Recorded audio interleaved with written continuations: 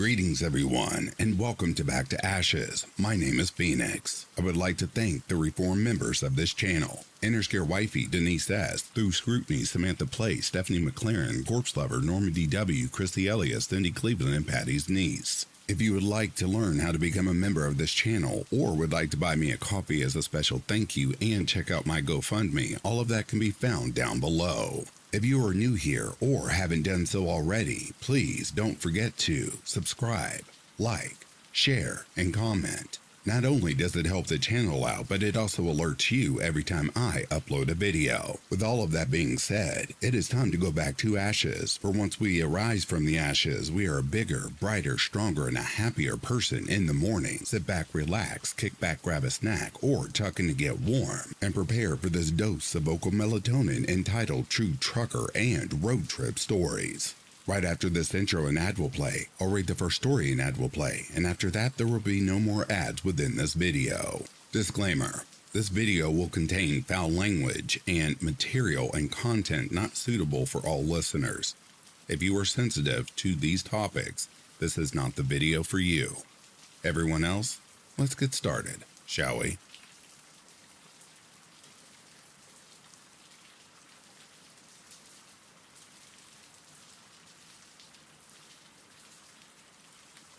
I'm not a truck driver, but I heard a crazy story from a buddy of mine when we were really young. There is one large truck stop in the city that we live in, and we were getting our driver's licenses and had to do an on road training with a driving instructor. The city is small enough that the instructors know a lot of the police in town, and as my buddy drove past the truck stop, they noticed a ton of police cars and EMS vehicles. They stopped to say hello to the police, and one of them informed the driver's ed instructor that a trucker got drunk and asked if they could show the kids what happens to people who drink around heavy machinery. He told me that a driver got royally messed up on booze and passed out behind a semi, and as the truck backed up in the morning, he squashed the driver's head like a watermelon and had no clue about the entire ordeal until he was far enough out of his spot to see what he had done. Talk about crazy.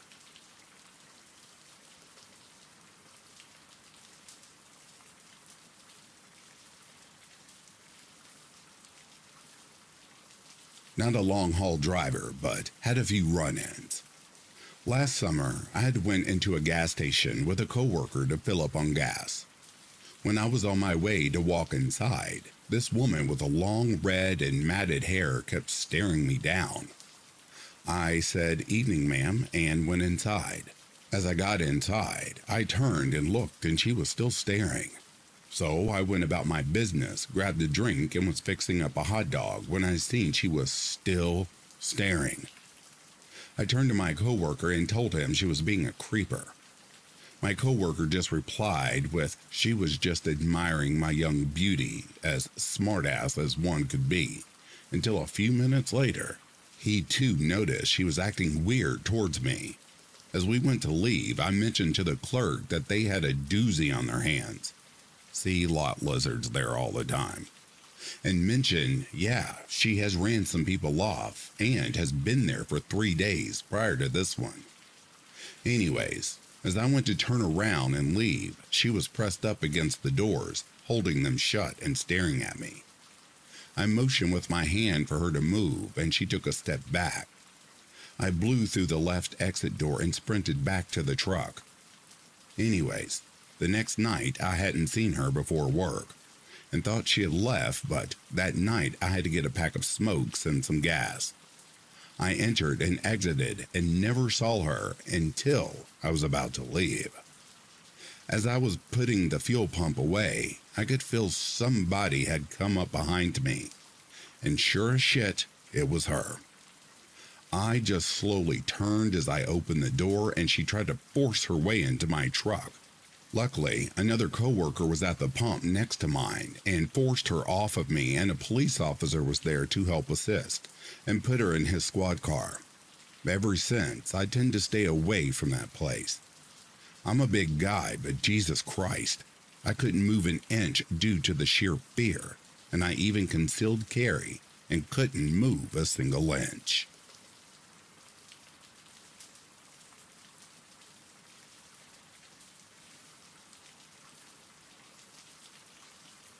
My stepfather is a truck driver.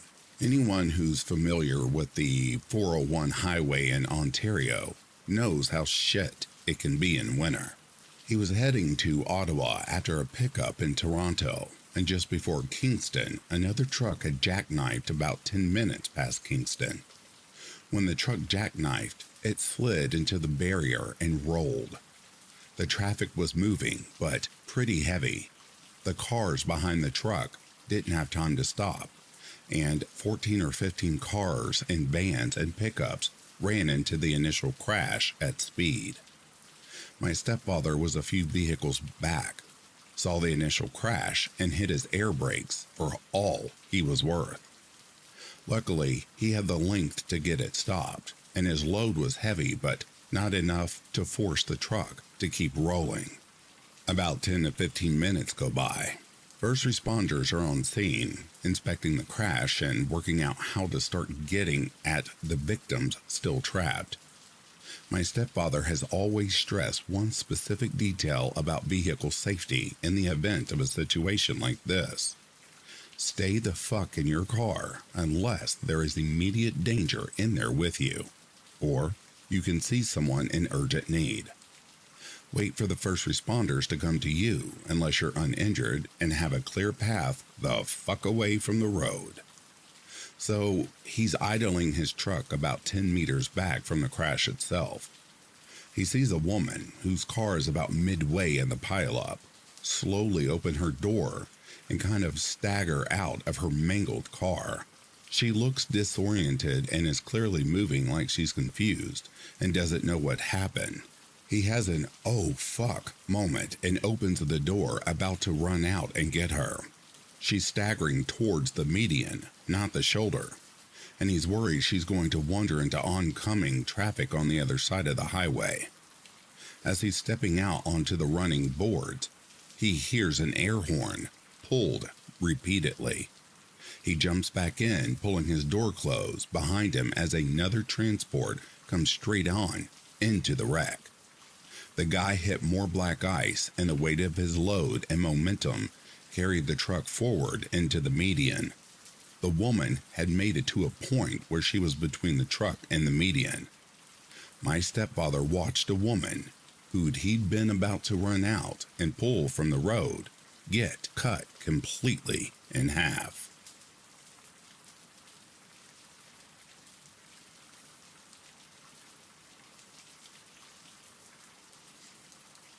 In my first year of driving a semi, I was pretty naive to what happens in truck stops and rest areas, to say the least. Not knowing the world around me can have some pretty awful places.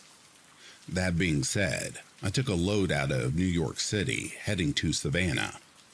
With the hours I had left, I planned to stop for my break in Jessup, Maryland at a TA Arrived while the sun was still up at around 6:30 p.m. Didn't think much of my surroundings, so I went inside to eat. After eating, I went back outside to see literally about 60 women just wandering around everywhere. If I had to guess, the age range was between 18 and 75. I was propositioned at least 15 times on my way back to my truck and it didn't stop there. All through the night, I had all kinds of lot lizards knocking on my truck door. Worst place ever to take a break. I never stopped there any longer. These women all look like they chose meth as a career in life. Jessup, Maryland, TA, is a place of sadness and despair.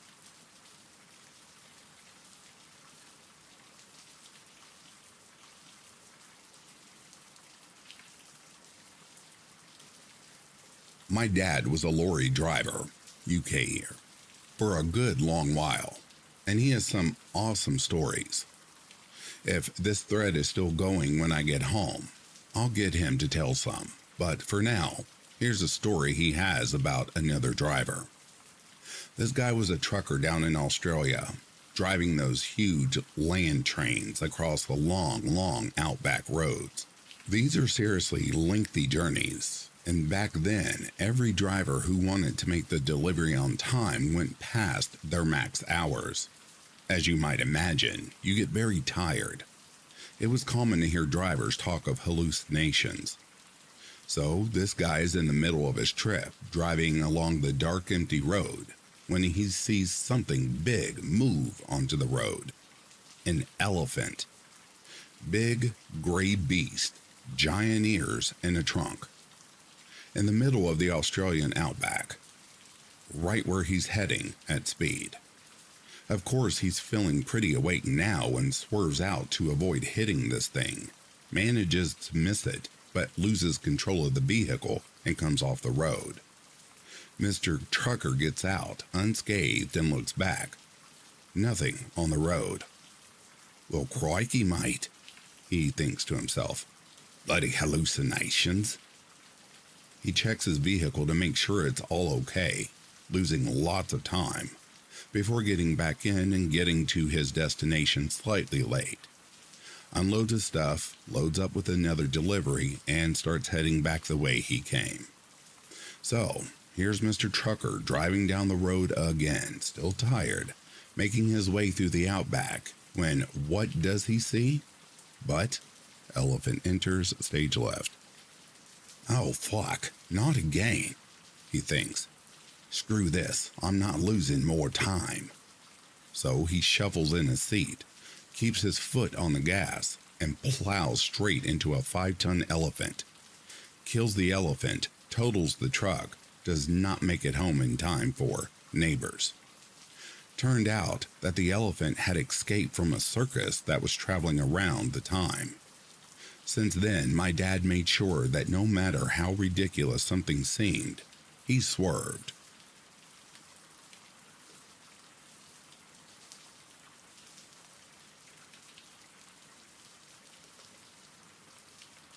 My grandfather was a state trooper and a detective, accident detective. I have two interesting truck stories from him. Number one, he told of a group of college kids driving somewhere for spring break and being distracted one way or another. They hit a semi. He said when he showed up, three of them were out of the car and one was still sitting in the back behind the passenger. The roof of the car had been pretty well peeled back, with most of the damage being on the passenger side of the car. The passenger's shoulder was fucked up from the crash, and everyone was sobbing. So, no one was really being cooperative when my grandfather asked about the fourth individual. My grandfather walked up to the car to see if the fourth guy needed any help. He said from behind and on the left he looked fine, but when he got around to the front, the whole right side of the guy's head was destroyed. Story 2 When I was younger, I was helping my grandfather move this old police filing cabinet.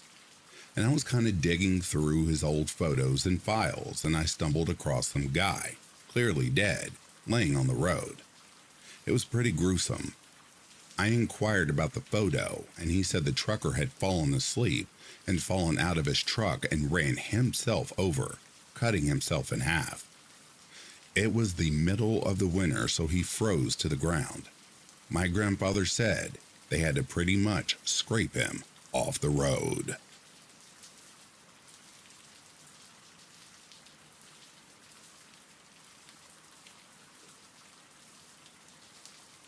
Not a trucker, but I dated a girl who was. She was short haul, but occasionally had to run loads to a warehouse out of state. When she did, I usually tagged along. We pulled into this nasty, abandoned looking truck stop right on the New Mexico Texas border for fuel. All fueled up, we headed inside to see if we could get something to eat. The inside of this place looked like something out of Fallout mostly empty shelves with random dust covered canned goods and old boxes of this or that, lights flickering and making that pinging sound. Not a soul to be found. We grabbed a few bags of chips and waited near the register. After making some noise and waiting for like five minutes, we put the stuff back and went outside. Surrounding her truck were about 10 guys who looked pretty fucking scary. Remembering I had left my gun in the truck, my stomach dropped. A biker then rolls up and talks to the two guys near the back of the truck for a minute, then does this slitting throat motion. My girlfriend is shaking and close to crying. I'm pretty sure I've already shit my pants. The biker throws his hands up, telling everyone to move, and walks over to us. He then, very politely, tells us that someone had stolen a trailer of his up north, and he was looking for it. This wasn't the one, so he apologized for the drama. He reaches into his pocket, grabs something, sticks it in my hand, and tells me he was sorry for the trouble. As he's walking away, I look at my hand, and it's a bag of weed. We got the fuck out of there pretty fast. Good fucking weed, though. We were joking about trying to find him on the way back and getting some more.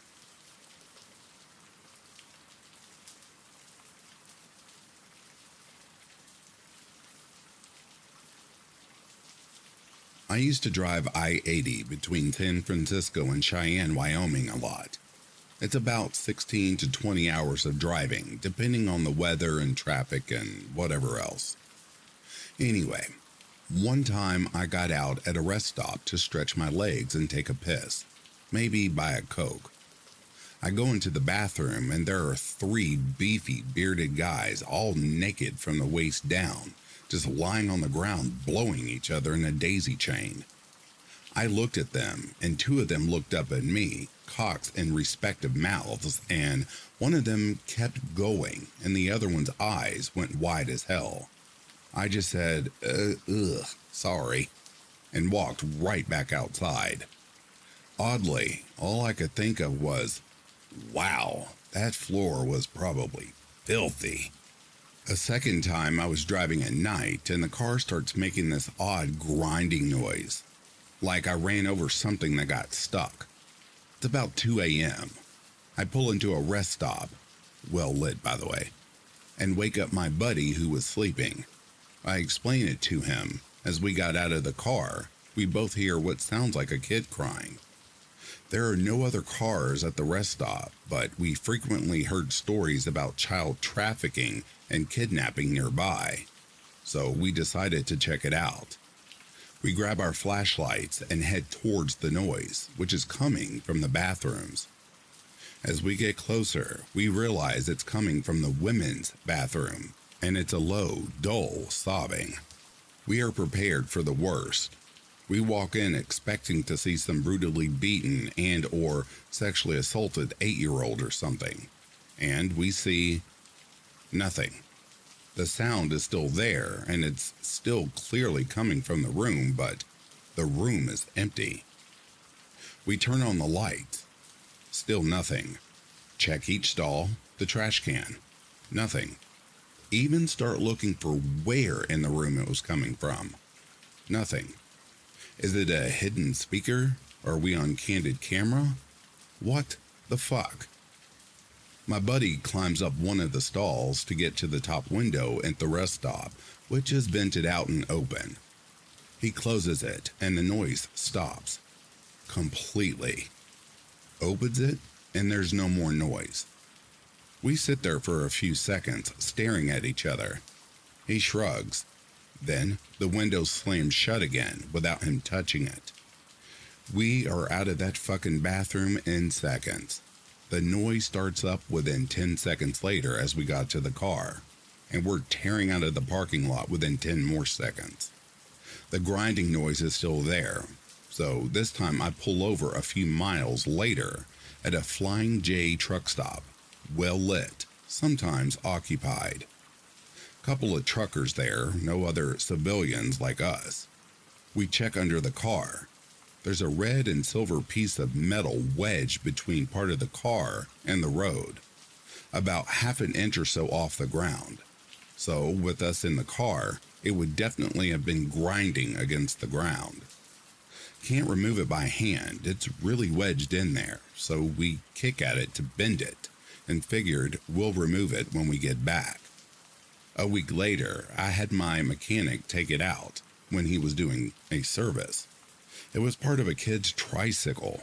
It was the red piece where somebody can stand on the back. I don't know why, and I don't think they were connected or anything, but that was one of those moments for me. Totally fucked up and crazy. Oh, yeah, a quick edit to my story here. My buddy emailed me this. Hey man, I saw this on Reddit. Is this you? I was thinking about this the other day. I think it was coyotes. I heard some coyotes outside the cabin last month and they were like kids laughing or roughhousing. And later on, they were kind of crying and it sounded familiar. I don't know why it was coming from the bathroom. Maybe the drains in the floor were connected to where the coyotes were howling. Maybe the window or the wind or just the way the noise was carrying over the desert or bouncing off the walls. I don't know. But I think it was coyotes. It sounded just like it.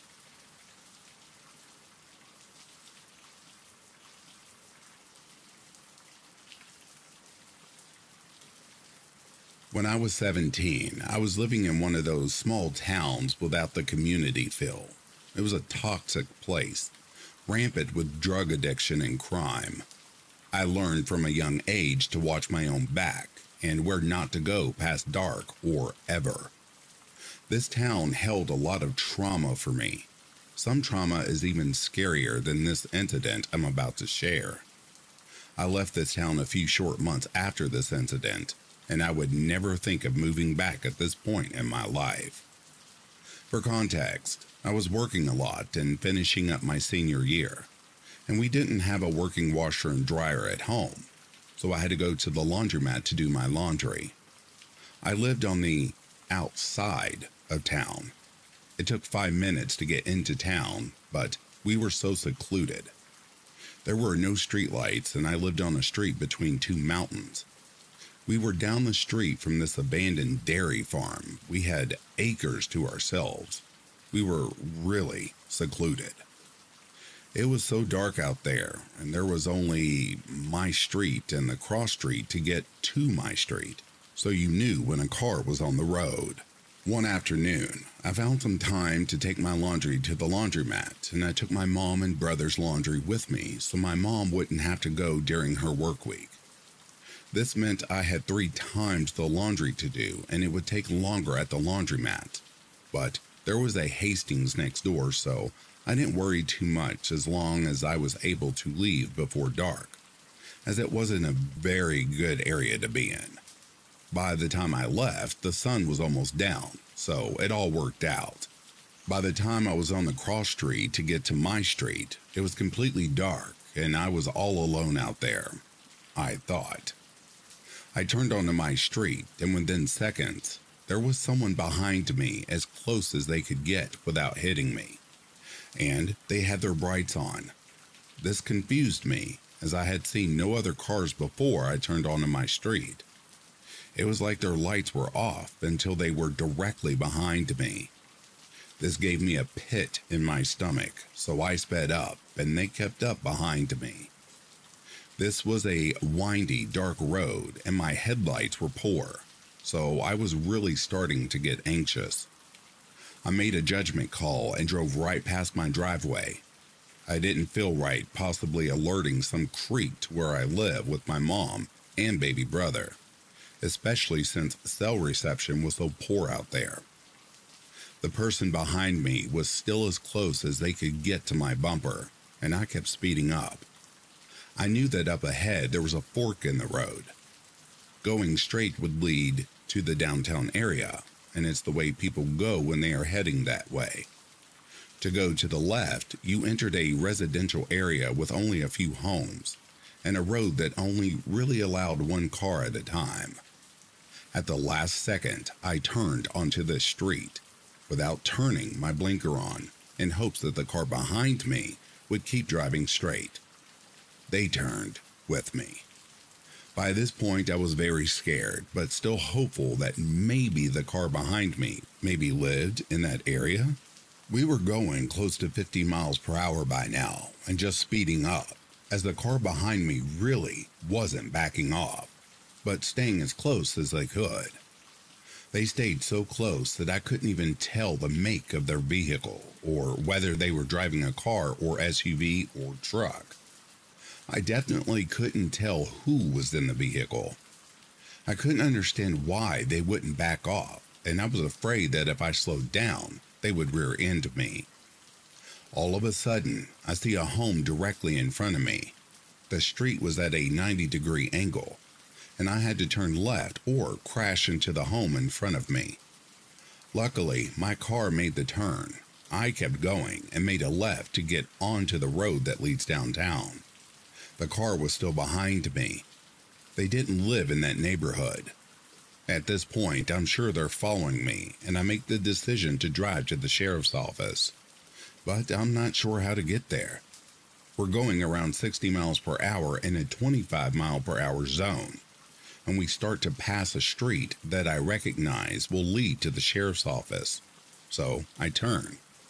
But I turned so late that I might as well have made a U turn. Finally, the car behind me can't make the turn and they keep driving. I drove around and made a lot of turns to ensure the car wouldn't end up directly behind me again. Finally, I pulled over my car and cried. I was safe this time, but I went home terrified, and it changed the way I drive to this day. I moved to a more populated city, and I live in a large apartment complex but I still drive past my apartment when I get a weird feeling about someone behind me. Anytime someone pulls into the apartment behind me, I drive right past my apartment and circle the complex until I can park with no one behind me. My paranoia possibly saved me and my mom and baby brother from something that could have been so much worse. Pay attention to the people behind you Waste the gas and drive past your home if you're scared. It may just save your life.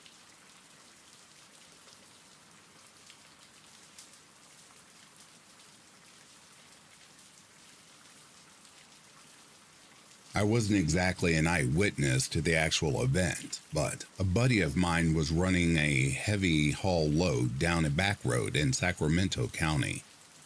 He was just starting out for the day, and as he approached a housing development, a woman pulled out about a mile or so ahead of him, turned towards him, and began to accelerate. And I mean hard. Just a few feet before she reached him, she ducked under the dashboard of the car. The only thing he could think at that time was, fuck, this is gonna hurt. She plowed into him head on, it turned out she decided to use him and his truck for a suicide. The truck was out of commission for some time. My buddy turned out to be okay. He refused to take any of this personally, and counseling from the Sacramento County Sheriff's chaplain helped him quite a bit. The problem, though, was this woman was married to a real knuckle dragger. He'd been beating her and mentally abusing her for years, and she finally had had enough. She left behind a family, and I still wonder about her kids and how they're handling this years after the fact. Probably not well. Personally, I don't think I'd have handled things as well as my friend did. My hat's off to him.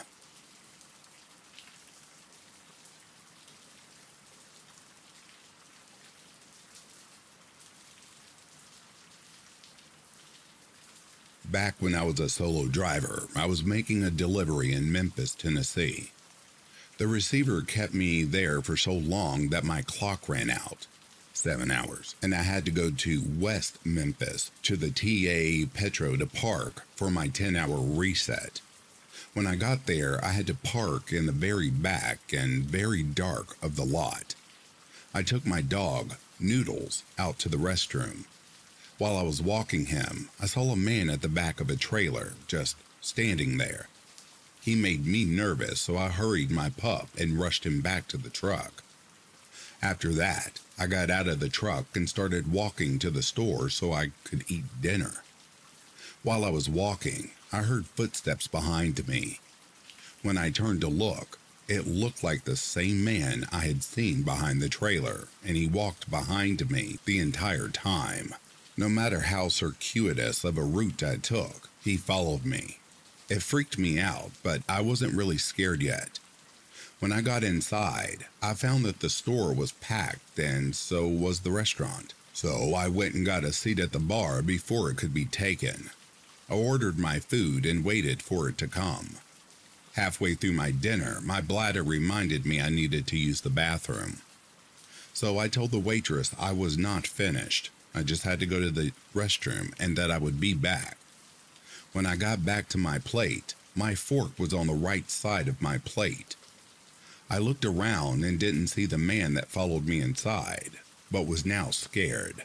I'm left handed and always put my utensils on the left side of my plate. Something was done to my food. I called the waitress over, still standing behind my chair, and asked if she messed with my food. She said no. I asked her if she saw anyone else mess with it, and she said she was too busy to have seen anyone. She went and got the manager. I told the manager about the man that had creepily followed me into the store, then disappeared when I entered. He got me a new meal and moved me to the seat closest to the office. He went into the office and came back out a few minutes later and sat down in the booth across from me. He said, I looked through the camera feed and a man did indeed come to where your food was setting while you were gone. He put something in your mashed potatoes, stirred it, and left back outside of the building. We don't have any cameras in the truck lot, so I don't know where he went. I don't want you to leave the store alone, and I also need to report this to the police. Do you mind if I call them? And I told him no, I didn't mind.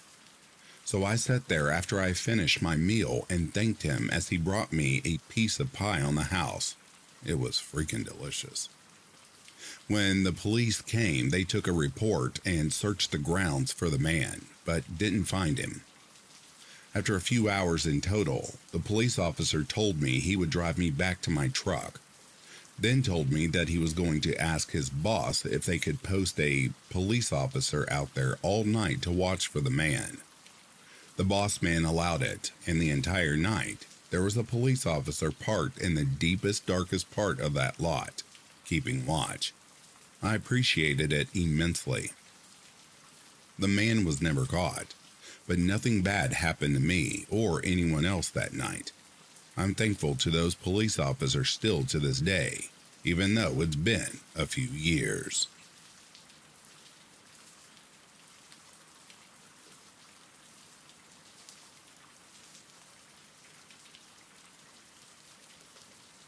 Since I retired six months ago, I will tell you what I did rather than what I will do. With a single exception, the only times I encountered that was from a speeder expressing their anger at me for temporarily impeding their ability to break the law while I was passing a slower moving vehicle. Usually, another truck goes slightly slower than me who inexplicably refused to back off for five seconds to allow me to pass in a timely manner. What I always did was to react with amusement, disgust, and relief. I would be amused by his revealing that he was not really in a hurry, and disgusted by his self righteous attitude, indicating that he feels I am denying him a constitutional right to break traffic law. I would always feel apologetic about slowing people down, but people who reacted as you described always relieved me of that unpleasant feeling. The only exception occurred in the wee hours of the morning, northbound on I 35 in Oklahoma, under a cryo tank loaded with 42,000 pounds of liquid nitrogen to be delivered on site to a drilling company engaged in coil tubing operations to clear oil wells gunked up to the point of no longer being able to pump oil.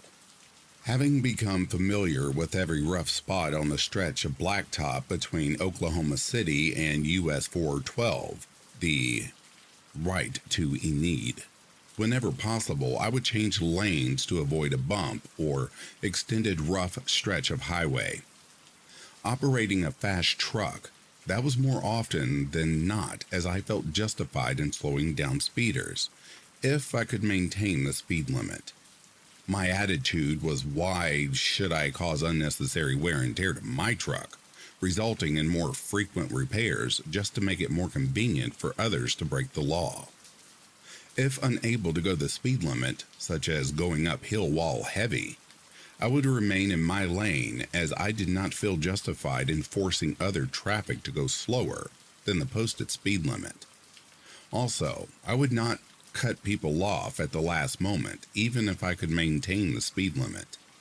But if there was a reasonable distance between us, I would move over, concluding that if speeding was so important to them, they could pass me by, beating up their vehicle on the rough patch.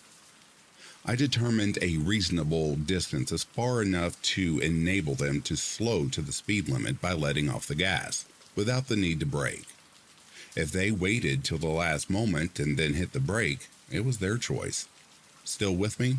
Okay.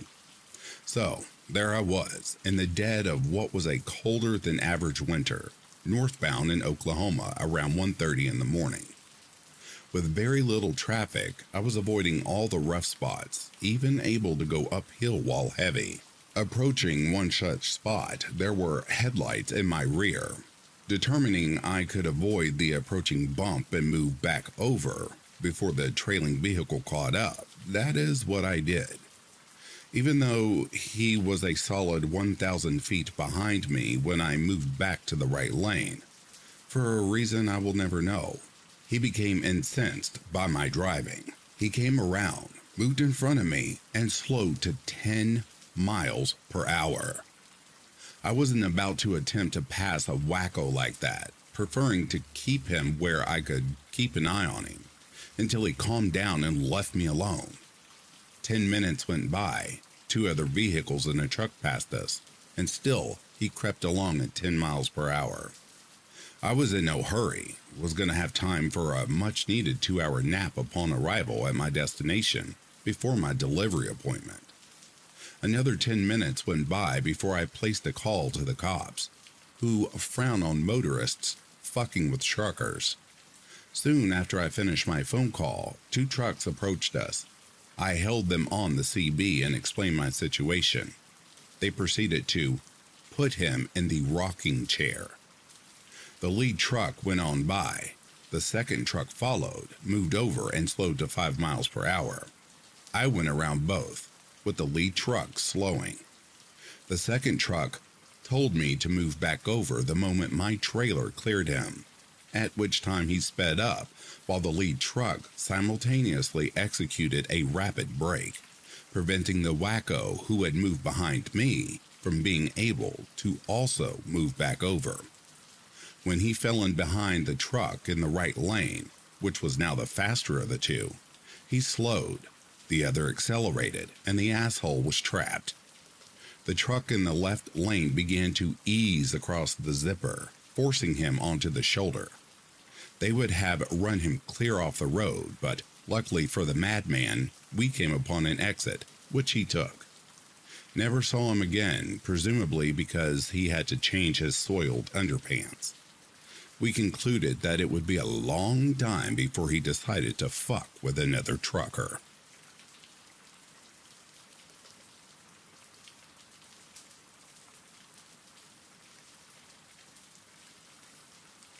I was driving through the hills of West Virginia along with several other trucks in regular midday traffic.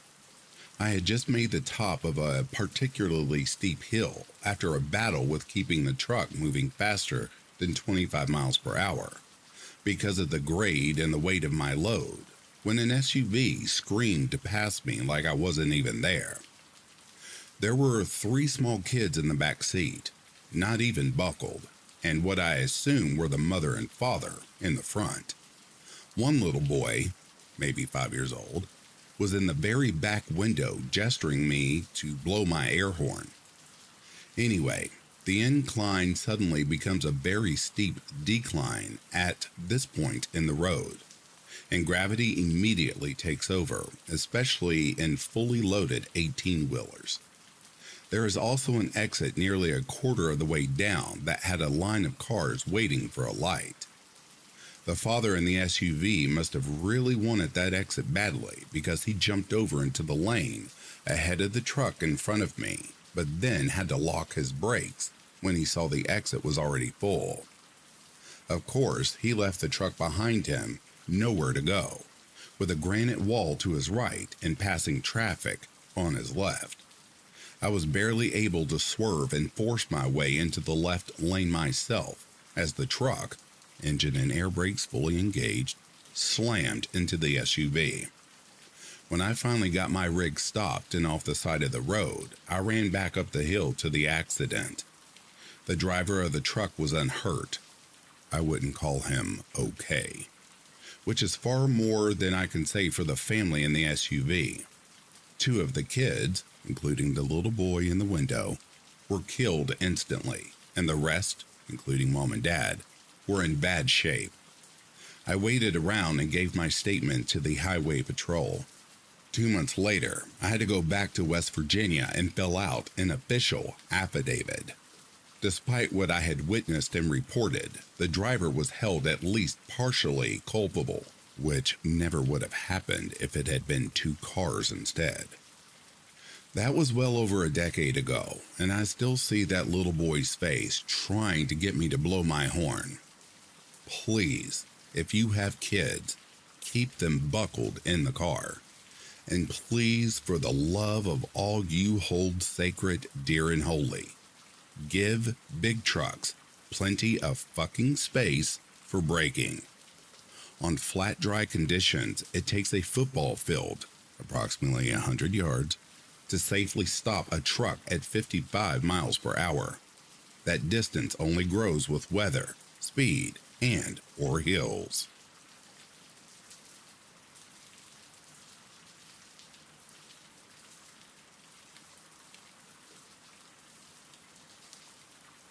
I only drive a truck for one year, but I had the scariest moment of my life during that time. I was going across Ohio on I 90 in the winter, carrying a load of beer out of New York and leading a small caravan of four to five other trucks was just going along minding my own business when a dump truck carrying what looked like a load of empty insulation bags in the dump box with no tarp covering it passed me by. I thought nothing of it and then seen a passenger car hot on his tail. Still, thinking nothing might happen, I watched one of the empty insulation bags come out of the dump box and land on the road in front of the passenger vehicle. From there, stuff changed very quickly. The passenger vehicle, instead of just hitting the empty bag, instead slams on its brakes and starts to skid on the slightly wet and icy road.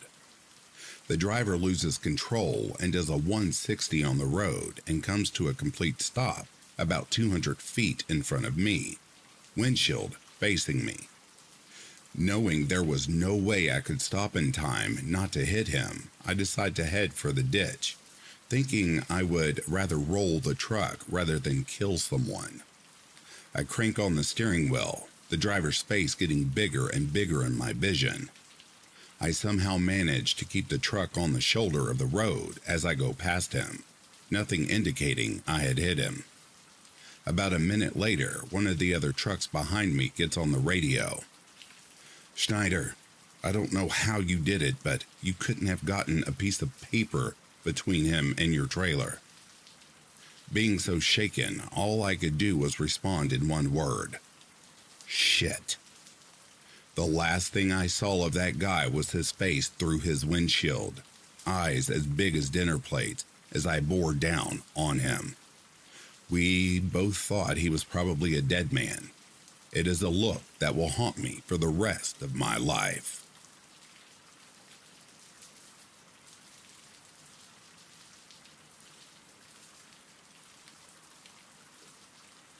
I'm a trucker in Europe, from Hungary. Crossing the channel from the continent to UK is very scary. There are a huge number of illegal immigrants who just wait to climb on trucks and get through to the promised land, to Britain. From Brussels or from a French city, Lille, direction, Calais, it is suicide to stop for overnight. In 2002, I was a rookie.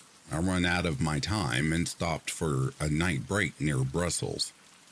Next morning, I checked in to take the Channel Tunnel train near Calais. The French police controlled me and they found eight persons in my trailer. In the British side, if they find hidden immigrants, they fine you 2,000 pounds each. There were many accidents.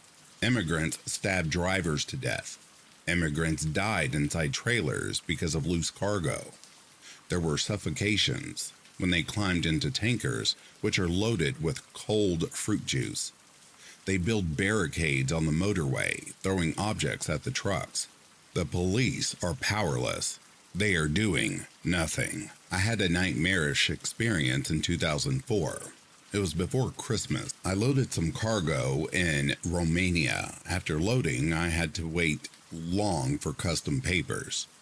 Romania joined to the EU later in 2007. I got my papers in the last minute. The next day, Christmas. Go. Budapest, 900 kilometers, no motorway, bad, narrow, mountainous roads, full of potholes.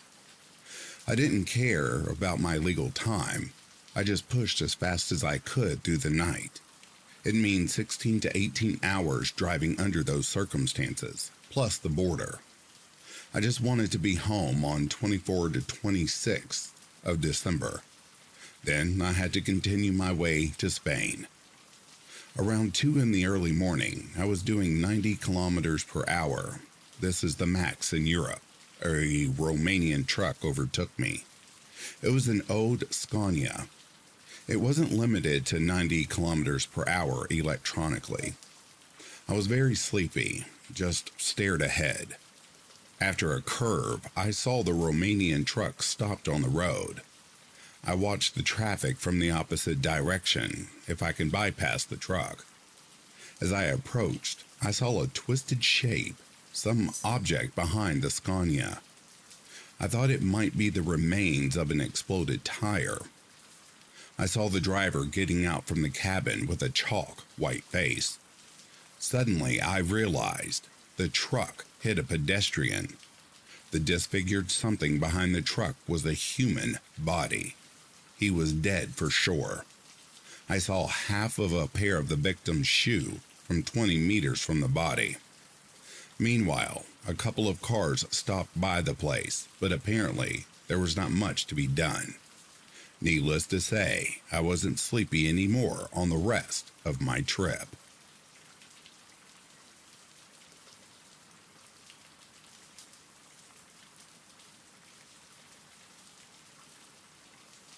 This story takes place in northeast Oklahoma, I believe around 2009 or 2010. I was around 14 years old at the time, so back then my aunt and I did everything together.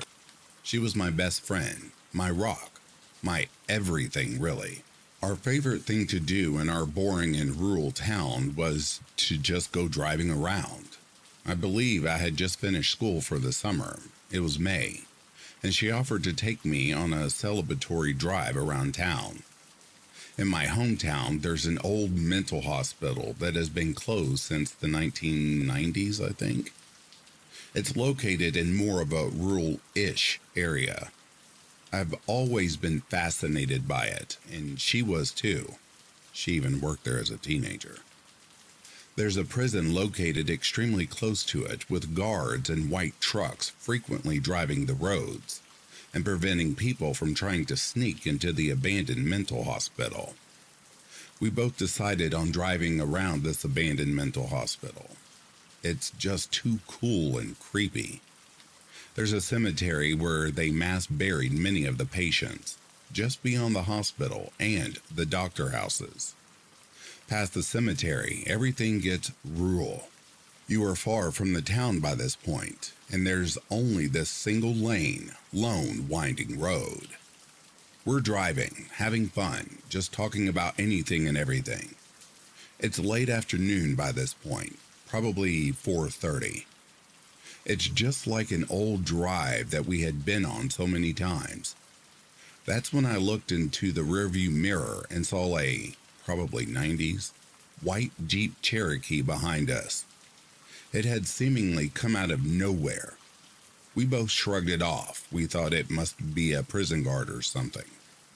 It became unnerving when the longer we drove, he never turned off onto a side road. He just kept following us. I remember my aunt playing it so calm, but I knew she was fully freaking out. She kept asking, Is he still following us? There were times when I didn't see him, and I'd say, No, I, I don't see him. Then, in the next minute, there he was right behind us again. He got close enough at one point I could see his face, relatively. He was wearing what looked like sunglasses, very big and bulky. He was middle aged, I'd assumed, white with a hat, and his dashboard was covered with junk. We kept driving further on this road through the middle of nowhere. There were several times we'd lose him and we would feel so relieved. At one point, we came to a railroad crossing on a hill. After we passed it, I didn't see him. We were so happy.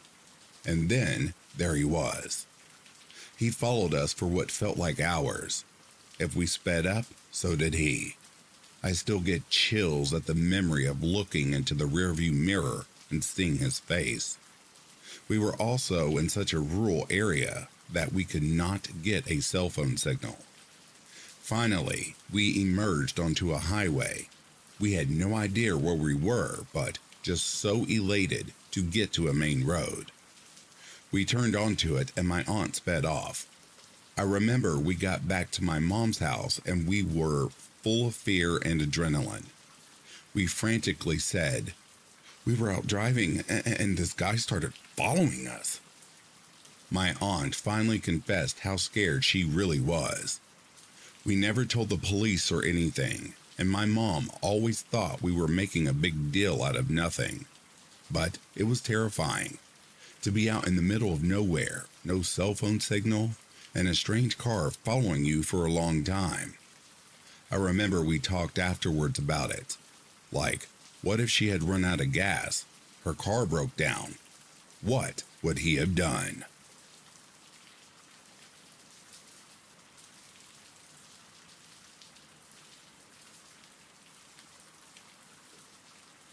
Sometime in the late 2000s, my family was coming back from visiting some extended family. This was in a somewhat rural slash industrial Midwest state. My memory is horrible, but I remember this extremely brief encounter so vividly. My dad was driving with my grandma, mom, brother, and me in the car. I was in my late teens at the time, it was dusk and would soon be getting dark. We were on a back road because my grandma was navigating and didn't know what a highway was. There are some industrial buildings and stuff around, but it's all shut down or abandoned, and they are few and far in between. So we are cruising along, and my grandma spots a person in one of those big electric wheelchairs that, like, lays back they are just sitting in an empty lot by the road. It was so out of place, and there was nobody around, and it was starting to get dark. My grandma was a saint and really wanted to stop and see if they needed help, but I had a horrible feeling and felt sick thinking about it. I voiced my concerns about how something seems very wrong, and luckily my dad agreed with me, and we did not stop. It was a fraction of a second encounter. We didn't even slow down, but we tried to figure out what to do for a couple of minutes after we passed. I'm sorry if I'm a horrible person for not wanting to help, but I had that nauseous feeling that this was something bad. I don't know if it was a trap or someone who needed help or someone just hanging out for some weird reason.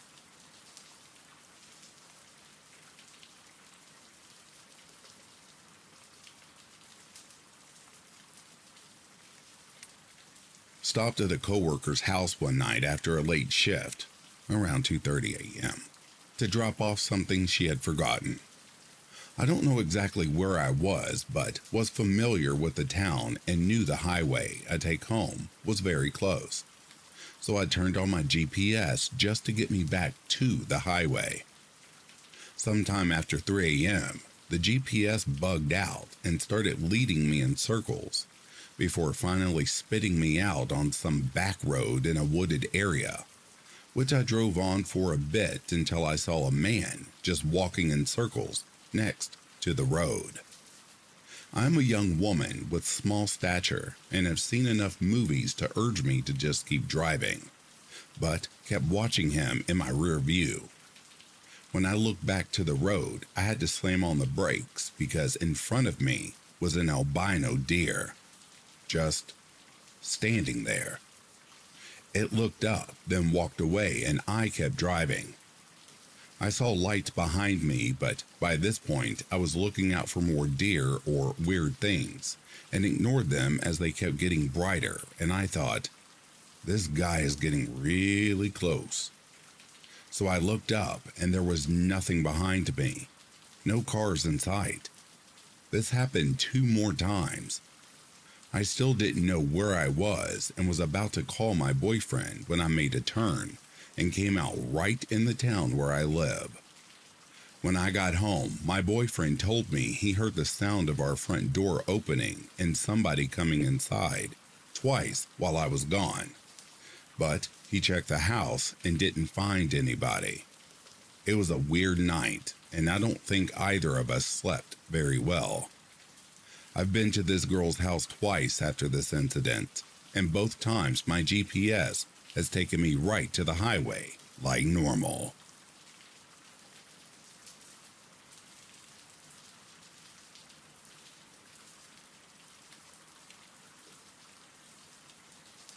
And that, dear listeners, brings a close to these true trucker and road trip stories. If you are sleeping, I hope Slumberland is treating you comfortably. If you are awake, I hope you've enjoyed this collection. In the meantime, please take care of yourselves. I'll be reading to you soon. Have yourself a good morning, a good afternoon, or good evening. Peace, love, and light to you all.